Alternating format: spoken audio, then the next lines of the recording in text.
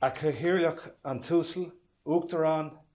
Colty Ella, uh, uh, then Farty na Siúanta.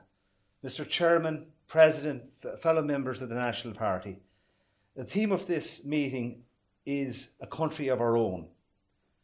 where, where we will be discussing the scourge of mass immigration that threatens our distinctive Irish national identity and the unique character of Irish nationhood. At previous National Party meetings, uh, I refer to the great quote of the martyred President of the Irish Republic declared on Easter week 1916, Padraig Pearse, who proclaimed that he sought an Ireland not merely Gaelic but free as well, and not merely free but Gaelic as well. This Pearsian truism explained the real purpose of the Gaelic revival movement uh, that he was centrally involved in and uh, which culminated uh, uh w- with uh, his leading the rebellion for Irish freedom uh, in 1916. Without the attainment of national freedom, Pearse well realised that the Gaelic revival movement, expressed in terms of the movement to revive the Irish language, na- namely the Gaelic League, and the movement to revive Gaelic games, namely the G- Gaelic Athletics Association, were empty efforts on their own. Padraig Pearse and our patriot dead gave their lives for the cause of Irish freedom, for Irish nationhood, and the very survival of Gaelic cultural identity. Our patriot dead gave their lives for the cause of, of Gaelic culturalism that is monoculturalism, and clearly not multiculturalism, that like a killer virus ravages Irish nationhood and threatens our distinctive cultural identity with extinction.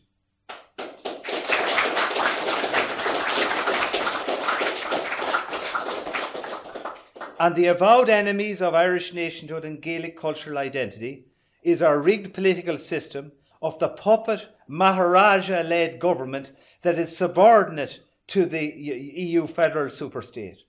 The political classes represented in our parliamentary regime and the mainstream media that are unrelenting in their efforts to destroy Irish nationhood through social engineering and the conditioning of public opinion into accepting uh, the nation wrecking disease of multiculturalism. History has many examples of the destructive effects of mass immigration throughout the world.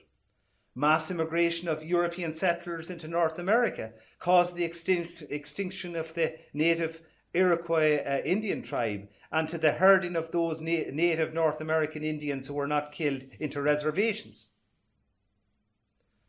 I live in the small county of Longford that has been ravaged by mass immigration. According to the most recent 2016 census data, one in every three people resident in my county town of Longford is non national, as is the case of my local town of Edgeworthstown where one in three people uh, are also non nationals. Indeed, Edgeworthstown, in Edgeworthstown, there are 17 recorded nationalities. Uh, in, in fact, uh, there, there are also migrant ghettos in Edgeworthstown that's, uh, and th- th- that's now being called Migrants Town Be- because Sharia law has been practiced in some of the migrant ghettos in that town.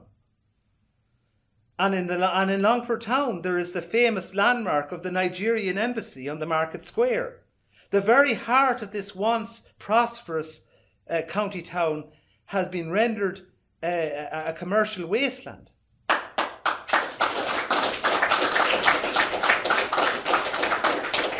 And it, is, and it is an established fact that mass immigration was lar- that has largely contributed to the demise of this once thriving Midlands hub town. The Section, 20, sec, the Section 23 uh, tax incentive for the Shannon corridor, introduced by the Fianna Fáil-led government of former Taoiseach Albert Reynolds, created the, the, incent, the economic incentive for Longford town to become a migrant hub town to accommodate so-called asylum seekers in direct provision. If we go, if we go to, to other towns around the country, uh, uh, the the the, the uh, town of Ballyhaunis in County Mayo uh, holds the ignominious title of having the largest foreign proportion of residents with an alarming 40% of the population of that Connacht town being non Irish. In relation to the larger towns and cities in this state, a massive 18.6% of the population of Galway City is non Irish. Now, when Galway was given the nickname of the city of the tribes, I'm supremely confident that those who gave Galway that name certainly did not envisage such an extensive number of foreign tribes that occupy that city. And a massive 17% of the population of Dublin, or one in six, are non Irish. According to those census figures, a massive 11.6% of the total population of the 26 counties free state are now non Irish, which is a cause of great concern for all of us who hold uh, dear and recognise the real worth of protecting the well being of the Irish nation and the welfare of, of, the, of its people. And of course, there is the ongoing scam of direct provision for bogus asylum seekers, for the most part, that take this country for a soft touch. There is estimated to be more than 5,000 such people in direct provision that has enriched unpatriotic private companies that provide direct provision services to these foreigners, claiming to be fleeing persecution, even though some of those are from EU, fellow EU member states such as Romania and Bulgaria and the Czech Republic. And the direct provision and direct provision comes at a cost to Irish taxpayers of in excess of 400 million euro between 2010 and 2017 and is estimated to cost taxpayers a further 67 million euro this year. And this at a time when this country has a homelessness crisis. There is no direct provision for Irish people who hit on hard times.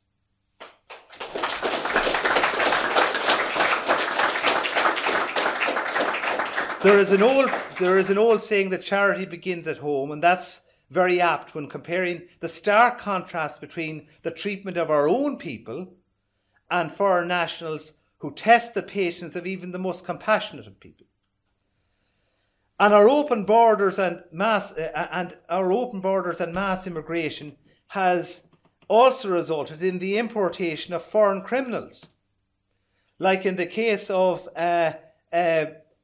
the, the, the, killing of uh, Shane O'Farrell from uh, Carrickmacross in County Monaghan, who was mowed down while cycling near his home on the N2 road between Carrickmacross and Castleblayney on August the 2nd, 2011, by a Lithuanian serial criminal,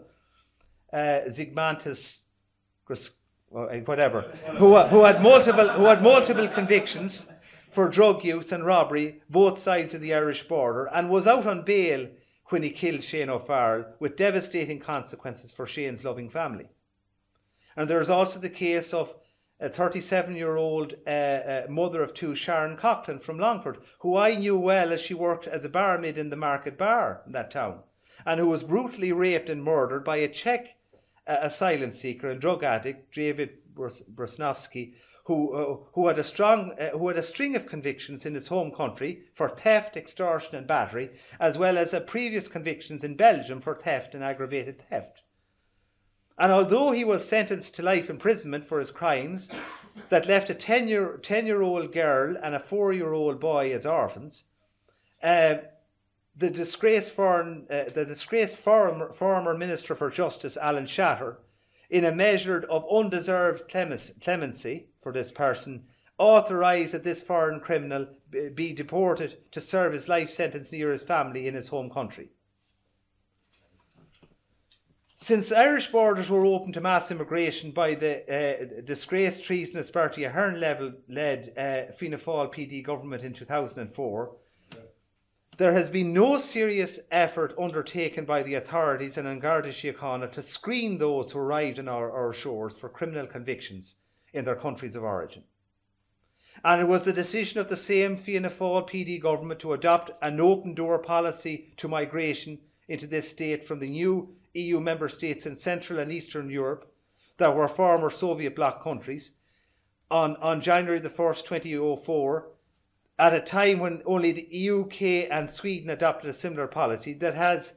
uh, had such a devastating social impact in, in uh, both those countries also. The other 12 Western European, uh, uh, Western EU uh, member states at the time closed their borders to immigration from the 10 accession EU states for a period of seven years after the new, uh, new member states had joined the EU in 2004. And, it, and, and, and let us not forget that it was mass immigration that created the population bubble, that together with the Euro, Euro currency fueled credit bubble, that produced the building bubble, that in turn caused the overheating of the economy, that caused the economic crash of 2008, that in turn resulted in the, in the bank bailout, and the Irish taxpayers funded compensation of the Rothschild banking cartel and other foreign bondholders who gambled uh, on the fortunes of the defunct uh, bust Anglo Irish Bank. And um, uh, that put Irish taxpayers on the hook for a whopping 64 billion euro that was added to the national debt and that resulted in an austerity austerity program uh, uh, the, administered by the then Fine Gael Labour government on the instructions of the foreign troika of the IMF, ECB, and EU Commission, and that was paid for by Irish taxpayers and continues to be paid for uh, uh, by Irish taxpayers into, fu- into future generations. And apart from being the principal contributor to wrecking the Irish economy, mass immigration has displaced Irish jobs, created a massive black hole in the welfare budget funded by Irish taxpayers, and is used uh, as, as a, a t- the tool of globalised corporate business to keep Irish wage rates down so that Irish people must compete with foreign nationals for employment in their own country.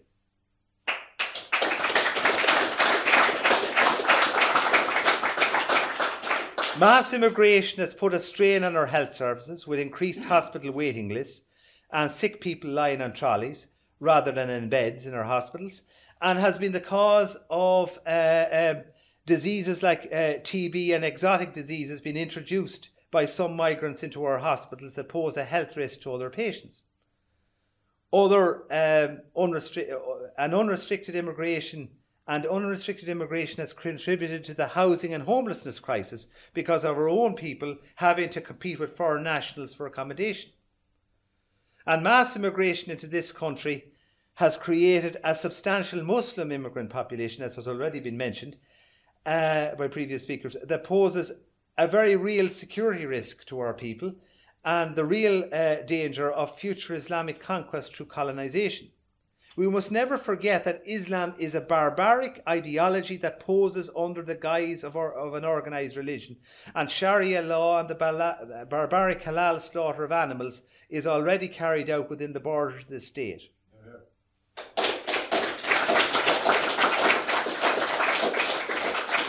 Also, the, the Varadkar government announced with great fanfare the ambitious uh, Multicultural Ireland 2040 plan again, previous speaker uh, uh, uh as, as alluded to, uh, uh, at a cost of 116 billion euro of borrowed credit money from international finance, borne by Irish taxpayers, that, that envisages an increase in the population of, of 1 million in this state between now and 2040, and that lays out a plan for the growth of selected hub cities around the country to accommodate uh, increased uh, uh, immigrant communities that, that would form the backbone of a new multicultural Ireland where Irish uh, culture and nationhood would be consigned to, to being a footnote in Irish history, that our educational system is, uh, by the way, taking off the, the syllabus.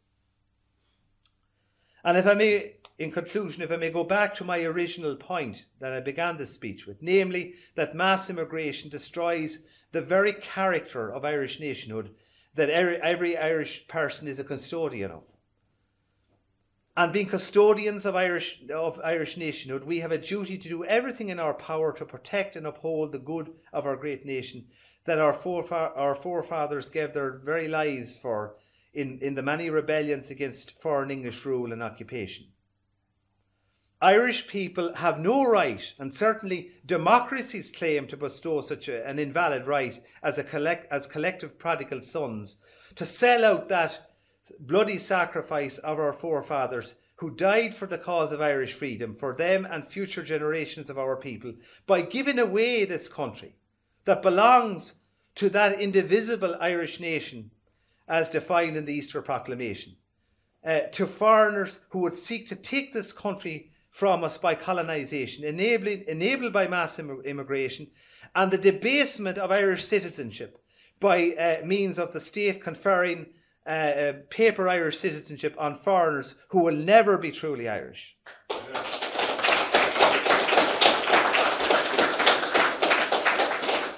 It, it is the duty of we in the National Party to strive to bring about an end, to bring about an end to mass immigration, as we are committed to by principle number seven of the party programme, and by doing so to take our country back, thereby ensuring that the future of the Irish nation into prosperity is preserved. Our Esh or I.